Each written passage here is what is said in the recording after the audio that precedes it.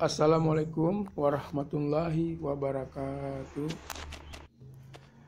Kali ini kita coba uh, untuk memperbaiki kipas angin dari sisi uh, menambahkan uh, pelicin atau minyak uh, pelicin pada as uh, kipas di mana sering karena kipas sudah uh, lama dipakai kipas uh, kotor dan abunya menempel pada bagian as kipas. Nah ini proses bukanya bisa diperhatikan nanti pada saat Anda membuka.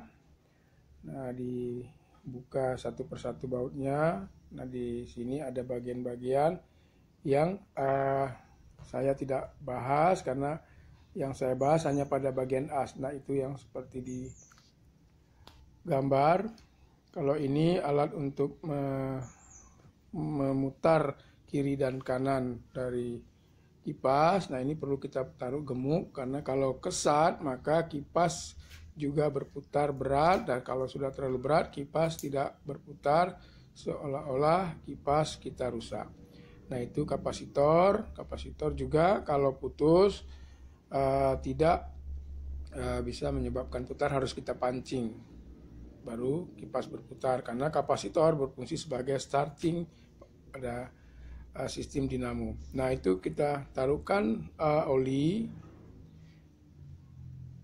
minyak pelicin lalu kita putar setelah dari bawah ke dari atas ke bawah minyaknya masuk ke dalam asnya maka kita Eh, putar-putar. Nah kalau masih kesat kita ketok sedikit supaya kotorannya uh, terpisah dari badan besinya.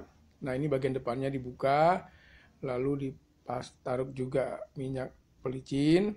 Nah ini ciri-ciri kipas yang masih bagus adalah ketika kita uh, hidupkan kipas masih berdengung tetapi tidak ber, mau berputar.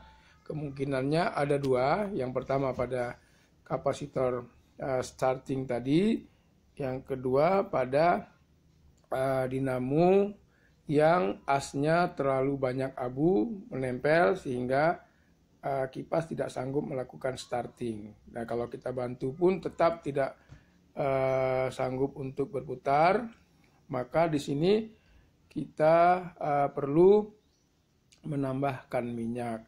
Nah ini hal yang sering terjadi pada kipas ketika lama dipakai pasti berabu dan ini bisa menyebabkan spool baut pada sisi uh, dinamo itu dikendorkan dulu supaya kita tahu uh, tidak uh, as tidak terjepit lalu kita pasang kita kasih oli tadi kita coba berputar kiri dan kanan. Nah kalau sudah lancar kita kita uh, tutup rapatkan baut kembali. Biasanya kipas sudah berputar normal. Nah ini perlu dilakukan uh, setiap beberapa bulan atau kipas sudah menunjukkan gejala dari tidak mudah berputar